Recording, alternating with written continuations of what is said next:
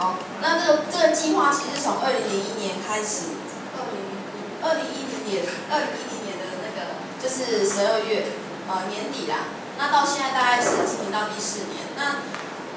这个计划大家可以看到这栋房子，刚刚那栋房子。然后为什么我们说它是行动美术馆？就是这个计划是从桥的糖厂艺术村，然后艺术村从二零零一二零零一年大概到现在十几年的时间，那就是从我们呃台湾在推，就是呃所谓艺术村那个在那种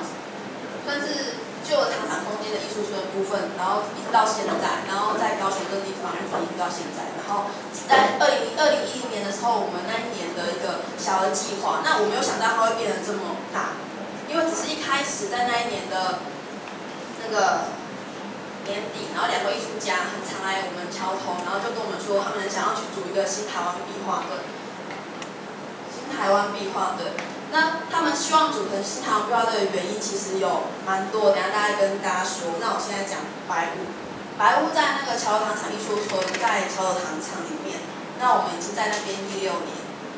那从一个这样子的空间，它是一个就是。一九零一年的日本时期的招待所的空间，然后它只被荒荒荒废，然后这个地方其实我们清出大概二十吨垃圾，然后到我们现在变成这个样子。就是大家如果有机会坐捷运到桥头塘站下车，那只要走两百步就可以来到这个地方，然后会有一些新的东西可以让大家就分享给你看这样子。那其实我们这里面做很多的事情，因为其实桥糖厂，如果说你们到糖厂的地方，你们会想象它是一个，然后觉得说现在糖厂很棒，因为捷运会到。那大家没有想象过，其实在一个糖厂那个口，在桥头桥头那个地方有三个捷运站出口。那我其实我其实有点扯远了，但是我们那时候我们在这个地方其实做文化资产的保存，然后我们做环境教育，在二零一一二年的时候，我们取得就是高雄环境教育认证的场所。然后我们也我们在推的是一个场景美学的部分，跟我们今我们今天希望艺术这件事情，并不是放在美术馆，就是殿堂里面，然后大家去看所谓呃，比如说毕卡毕卡索，然后一些所谓大师的作品，那大家不认识什么是台湾。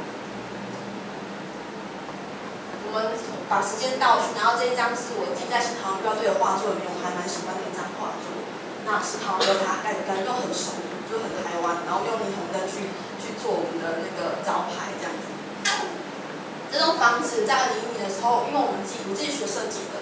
然后跟我们的同事，然后我们就在想说，因为艺术家跟我们讲他想要画壁画，可是我没有那么多墙壁让他画，那我们就想说，那我们盖一栋房子让你画，然后每个每一栋房子就四八板组成，每块房每块房那个就是画布跟板子，就是我们最常见，说那种装潢用一个那个四八板，然后就是现成的。那到从白，然后到你看整整座房子，我们到最后觉得我们像在盖一间台湾当代艺术的庙，找艺术家来参加，然后画从天花板到墙面，然后艺术家透过不一样的那个颜料，然后去做创作，然后用他们的最擅长的方式去去画，这是创作过程。那这栋房子。全部都是可以拆解这些结构，然后板子全部都是模组化方式去讲，就是他会拆，然后这是在云林湖尾布袋戏馆的前面的广场，然后他这个是在也在二零一二年时候到意大利去，受到受意大利的邀那个策展人邀请，然后我们这栋房子搬到国外去去展示，就是对我来讲，就这栋房子最特别的力量是在于，就是它可以让你重新。用不一样的视角去看艺术，而且这件这这个艺术作品跟你跟我跟这块土地产生关系。那它不会是说我今天，呃，比如说你现在去现场看到有空白的画作，然后有艺术家在创作，那我今天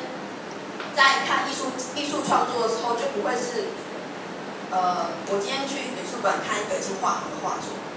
他在整个创作的过程中，他已经在跟呃人跟。跟环境产生一些互动的关系。那这个是二零一二零一年在白鹿的第一场的作品的一个那个从花莲那次，我们整栋房子我补充一下，我们整栋房子有六十四件，就是六十四个坏画板，然后一次计划最多可以六十四位艺术家来参同时参与。那第一次我们在白鹿办的时候，这个艺术家从那个花莲骑机车六个小时到到高雄来，然后来参加这个，他只跟我讲说，他觉得我们的计划写得很棒。然后我们计划我们没办法提供出家，说你来还有给你出行费或者是创作费，我们只提供你吃，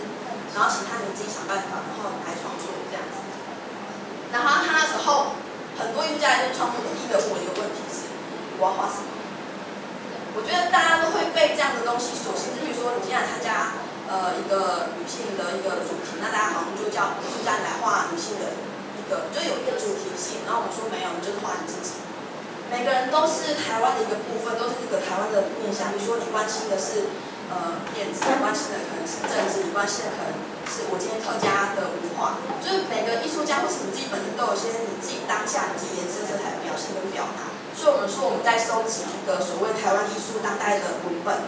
那这位艺术家他来，他在关心的是阿美族巫师记忆，就是巫师记忆在巫师的人数在减少的事情，然后他探讨的是。原我跟自己的一些关系，然后他所进行的一个图像的创作。然后这一张是我们在台北当代艺术馆的广场前面的时候做的创作。为什么这栋美术这栋行动美术馆我自己觉得非常的特别？是因为在创作过程中，我们把我们在盖这栋房子的过程，也把它当成是一个展演。然后你就觉得很特别，我们这样子在做，然后在一个很当代或是一个很都市的空间，然后去。产生一些冲突性，然后跟其实每一次在做一地的部分、一地的创作的时候，其实艺术家我们虽然没有设主题，但是他艺术家都会很自然的去表现出他跟环境、跟他的画作的一些关系，跟一个地方的一个展现。然后这是我们去台东，台东东河旧墙的时候，然后那时候艺术家，那时候我们还遇到那个翻美丽湾。的事件，就是其实这些东西它开始跟我们进到我们的社会里面，然后产生一些不一样的关系，然后我们去参加费什么之类。然后在这个过程中，其实最特别的部分是，其实很自然的出现了很多艺术家跟艺术家之间的交流的活动，不管是呃加入音乐部分，或者说其实第一次让艺术家走出他们自己的个人的工作室，然后有机会在一个这样的开放的场域去认识更多的。不看不一样艺术家去做共同的交流，然后甚至说我们这个计划在二零一二零一一年到二零一二年的时候，我们到日本日本东北再出去，就是透过三一的事件，然后我们用一个艺术陪伴的计划，我们觉得艺术它是一个很简单去释放我们不管是能量，或是说我们今天就是算是一个艺术陪伴的计划，从先从最简单的涂鸦开始，然后地面开始，然后其实它会跨国界的去做一个心理。的一些补位的部分，然后其实最简单，我们测我们的发起人最想讲的是，其实画图本身是我们就是小朋友都会做的事情，我们人生俱来就有这样的能力，那只是我们忘记，或是我们会被认为说那是专业的人。那这是我们二零一二年被邀请到第一次他搬到室内，不然这栋这栋房子都在室外，在户外，在广场。那他第一次被邀请到那个。台湾双年，台湾美术双年展，然后到那个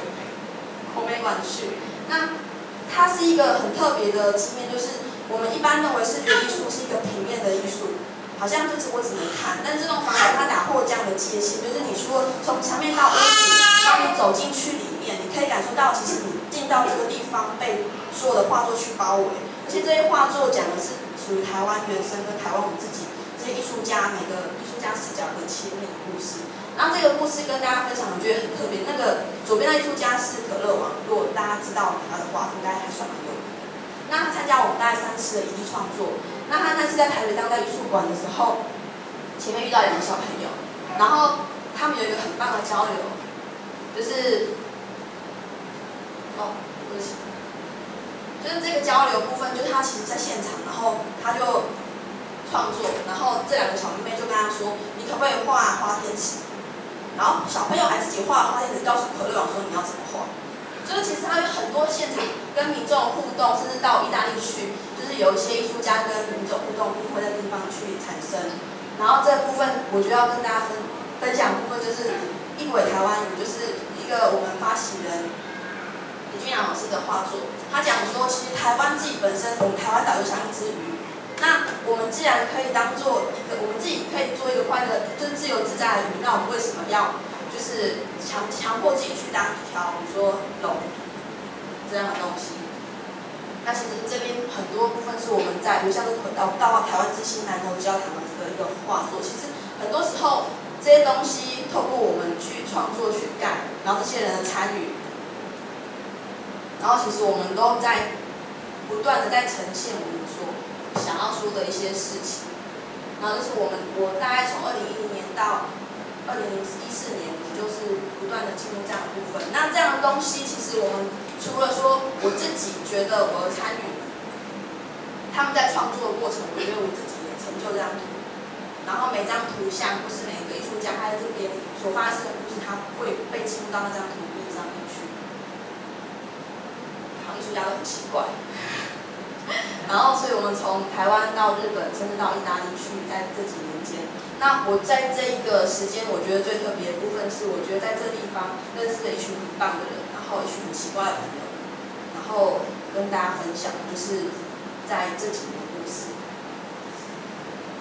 然后，我觉得这一这一个行动美术馆的工作，不是一个人可以成就，是靠很多人扮演好他自己的角色。比如说，不管是艺术行政，然后去沟通社区，跟或是地方在地，然后跟艺术家本身到盖房子的这些公办或自工，然后大家去做好扮演好自己的，做好自己的位置，然后去共同成就一一件事情。然后分享四月的部分，我们去，我们这新团队是第三年，我们到北港那里参加绕境，这些艺术家，然后非常的有趣。我们我们自己组成所谓正式的正统，我们跟北港马祖朝天宫说我们要去参加绕境，然后从第一年我们就是自己参加，然后去吃雷就是讲袍，然后我们的图直接推上那个街头，然后去参加北港妈祖绕境，然后我们是最没有声音的队伍，因为我们上去我们不是敲锣打鼓，但是每个人都会停下来看我们，然后我觉得没有声音反而是最有力量，然后到我们。今年把这栋房，这第这第二年，去年的时候，然后这栋房子我们把它缩小八分之一的比例，然后到北港去做绕境。然后今年他从日本回来，所以我们把这栋房子搬到现在北港，现在这栋房子北港，从日本回来。然后今年我们要加更加入的议题是说，我们找年轻的朋友，然后我们希望这栋房子接下来的部分，它可以转转变成移动的教移动移动的社会社区教室。他可以开始进到台湾的那个社区里面，然后他可能转变成社区教室去去找出社区的故事。然后这栋房子我们叫做台湾田学校，然后这学校里面会有学生，那我们会去找学生来，我们会去找一些传统的一些文化，比如说这是我们请北港老头塞教我们打一套拳，十鹤拳，对。然后我们就也在那个北港朝天宫的部分去展现，这是就是地震的部分，这样就除了我我除了我们在讲艺术的部分，跟就是加入一些文化的东西，就是我们今年我四月在忙的事情。对，然后其实我从自己做设计到我现在做台物的场所经营，到重重新去接触艺术，我觉得其实我们我自己一直保持着一种很开放的心，我没有觉得我一定要成为什么，但是我会给自己。我不会设限我自己要做什么，那我只希望说，就是我没有做过，我觉得有趣，啊，我能够做得到，我都想要去尝试。这是我今天。